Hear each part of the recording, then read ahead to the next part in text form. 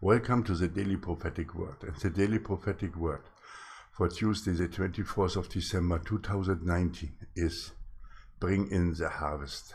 You are my harvest workers. Are you willing to bring in the harvest into my barn? I am calling you forth into the nations. The fields are white and ripe for the harvest, but there are only few harvest workers.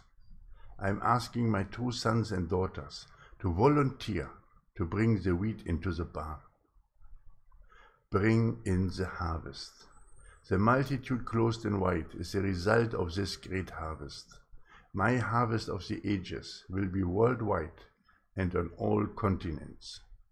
A great revival will accomplish this harvest, but at the same time, great darkness will fall onto the earth.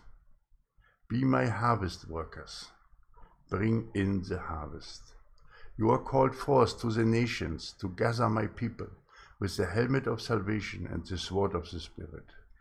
Restore my altar to its former glory and establish harvesting centers in your homes and neighborhoods. You are my chosen harvest workers. And this was a daily prophetic word for Tuesday, the 24th of December 2019. Bring in the harvest. This is our purpose and destiny in this world to win the souls and to bring them into the great harvest, so that they can clean their garments in the blood of the Lamb and be ready as a multitude clothed in white at the sixth seal to be raptured into paradise. Now, as you can see, the fields are white and ripe for the harvest. Now it's a time for you to step forward, to come out of the world and out of Babylon and to become a harvest workers of the world, of the Lord. How do you do that? By establish a home church. Gather the people together in your home churches.